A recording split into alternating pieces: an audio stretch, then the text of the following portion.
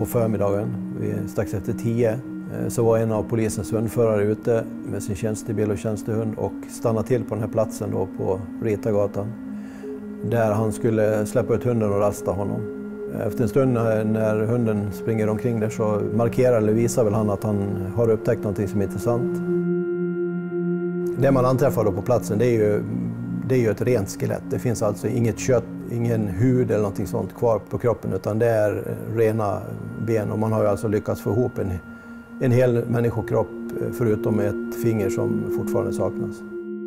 I över ett års tid har polisen försökt ta reda på identiteten på den man som hundföraren hittade vid tankstället i Norra Backa industriområde. Att man anträffar en hel kropp som i det här fallet, det har åtminstone inte jag varit med om eh, under mina år som polis. Till råga på allt då att det är en oidentifierad kropp. Min högst personliga uppskattning är ju att eh, de här lämningarna av den här kroppen kan ha legat där i mellan ett till tre år. Och då tittar jag främst på att eh, kläderna är ganska väl bibehållna.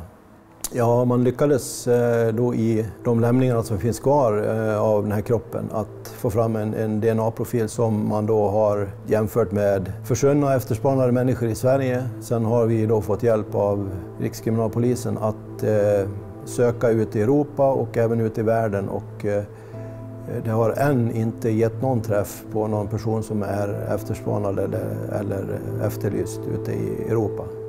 Hur kroppen hamnat i ett industriområde i Borlänge eller hur mannen avlidit är fortfarande frågor som polisen söker svaren på. DNA-analysen av skelettdelarna visar att den döde är en yngre man, normalt byggd och mellan 180 till 190 cm lång. Har du uppgifter som kan hjälpa polisen? Ring Efterlyst 08-702 00 90.